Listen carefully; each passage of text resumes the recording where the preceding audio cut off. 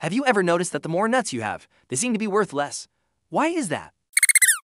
If squirrels have one nut, the nut is rare. If the nut is rare, the nut is valuable. But if squirrels harvest more nuts, the nuts become common, and if the nuts are common, the nuts are no longer valuable. That's called demand pull inflation.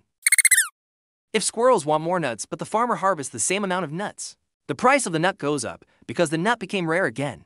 Now, if the demand for nuts stays the same, but farmers have fewer nuts to sell, the price of the nut also goes up because the nut becomes rarer. That's called cost push inflation. The squirrel buys a nut, the squirrel eats the nut, life is good.